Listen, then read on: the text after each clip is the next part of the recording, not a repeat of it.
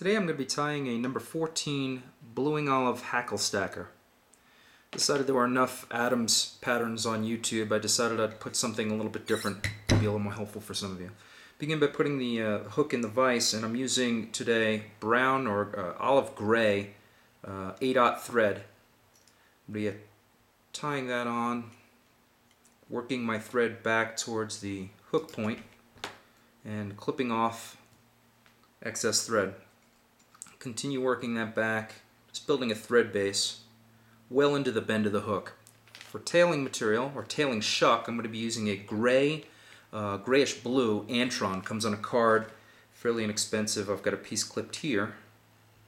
What I want to be very careful to do is make sure you stagger the tips. You don't want to have a cut flush. There we go. A flush cut on the uh, on the tail. So I stagger the tips a little bit. I use a pinch wrap and apply that get my trailing shuck tied on top of the hook. Okay, tie that down nice and tight. Wrap underneath the uh, tailing material, wrap forward to the thorax, or where the thorax would be, and bind the antron down. The reason I do that is to add a little bit of bulk to the fly because I want to build a tapered body, thinner in the back, a little bit thicker up towards the front here. So I've bound that down. I'm going to go one better. I'm going to tip the pull the antron back towards the tail and bind it down a second time. i not go all the way back to the tail. I'm going to go back about midway, clip off the excess, and now I've got a, a thicker body here. Only slightly, but a thicker body nonetheless. And continue tying down with thread. This aids and saves a lot of thread than uh, build, trying to build up a uh, body with thread. It just takes a lot longer and a lot more thread. Now I can come work my way back towards the back and I'm ready for my olive turkey biot. I use turkey because uh, it's significantly longer than goose biot. I think goose biot is fine for tying tails on a stonefly or a copper john, but if you're going to wrap the body with biot, I would use turkey. When I tie in, and when I use turkey, uh, when I use biot, I wrap with the notch uh, in, located in the uh, in the biot. Hopefully you can see that. There's a notch when you strip it away. I have that facing the front part of the fly. That will create a very buggy, nymphy looking pattern. If I'm doing a dry, I will sometimes put the notch towards the, uh, towards the rear, and that creates a smooth body. So here I tie on on the near side facing me with the notch facing forward, bind down the remainder of the biot. Now, I'm going to take my whip finisher, I'm going to throw one, two wraps. And what that allows me to do is pull my thread way out of the way and use, off camera you can't see, but use my bobbin cradle to keep my spool out of the way, my bobbin out of the way. Now I can freely wrap that biot around the shank of the hook and my thread doesn't get in the way. Carefully spacing, just a slight overlap, and you'll notice, I think you begin to see the raised rib that comes from this biot when you wrap it with the notch facing forward. Okay, continue wrapping till I get up to the thorax and I'll bring my thread back into play. Move my bobbin cradle out of the way. Holding the biot straight up, I can take my thread and bind it down. There we are.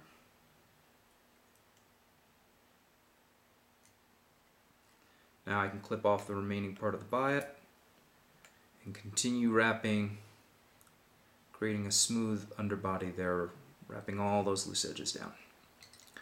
Okay, now I can come back to the tie-in point and I reach for two CDC feathers. Now I use CDC most of the time. You can also use tippet material, uh, 3X or maybe even 2X. I've got two feathers here because I want to create a little bit of uh, meat to this. I, I, don't want it to be too flimsy. So I've got two CDC feathers stacked. They're extremely light. I'm going to hold those on top of the hook and tie those down. Slide it back just a little bit. There. Tie all those loose fibers down. Doesn't matter if some are, are stay loose, that's okay. Now work it back towards the tie-in point. I've got my thread hanging, my CDC uh, feathers holding straight up, and it's time for the Grizzly Olive Hackle. Got a small piece left here, but this is size 14, sized for the hook I'm using. grizzly hackle. I'm going to strip away fibers from the stem so that I uh, have a little bit of bare stem to tie on. You can see there a little bit of a bare stem. With the shiny side facing me, I'm going to tie this on to the hook shank. Oops. There we go. Get a couple wraps on it.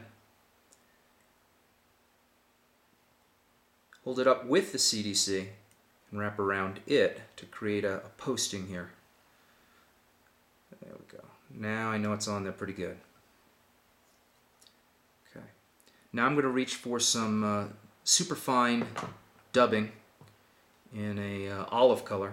I like this because it's extremely fine. It dubs extremely tight. It's great for dry flies. It's uh, supposedly treated with um, silicone to keep it waterproof. And I'm for a hackle stacker, I like to apply a little bit more dubbing than I would normally do for a dry fly. I'm looking to create a very rounded, sort of a bulbed thorax to imitate the, um, the emerger. Begin piling that on in sort of a rounded, there we go, creating a larger than you might think normal uh, thorax. Work the thread towards the front. Now I'm going to leave some room between the, the back of the eye and my thorax. I deliberately want the thread uh, back from the eye. I don't want to crowd the eye. Holding my CDC, or now my post, straight up, I can take the hackle and begin wrapping around the CDC. And this gets a little tricky because the CDC is, is extremely soft and, and kind of flimsy. But you want to wrap the hackle around that. Four or five times should work out okay. Let the fly tell you how many wraps of hackle uh, it takes, depending on the hackle, the density of the fibers on the hackle. So I'm going to keep wrapping, I think, until I just simply can't wrap anymore here.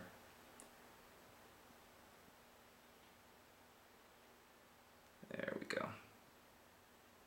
Maybe one more wrap. I'm careful. Great. Okay.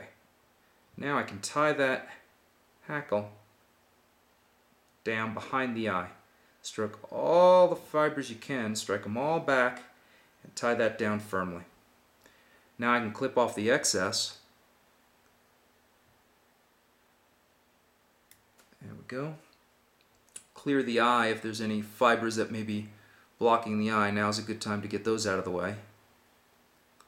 Otherwise you're going to be on the stream trying to thread this and you're going to have a tough time. There we go. Now I can grab my post, pulling the fibers, pulling the hackle fibers towards the rear of the fly, without stabbing your finger, towards the rear of the fly, slide the fibers out of the way, pull the post down, and tie the post down. There we go. Fibers out of the way, continue binding that post down. Now I can clip off the excess CDC. If it's long enough, use it for another fly. This is too short, so I'm going to get rid of it. Again, stroking the fibers back. Now I can build the head of my fly. Grab my whip finisher. And three wraps is all it should take. I occasionally throw in a fourth if I'm still trying to build a head. Now take my scissors, instead of slicing the thread, uh, excuse me, instead of cutting the thread, slice the thread away with the sharp edge of the scissor. Now, I'm not done yet. I want to come back to the hackle fibers and stroke those forward. I want them all sitting on top of the fly, kind of so it looks like Don King. You can look on the underneath side here, you can kind of see a, uh, a very um, bulbous type uh, body. There we go. And all the hackle sitting up on top. And this fly will float all day long. Get a good view for you. There you are.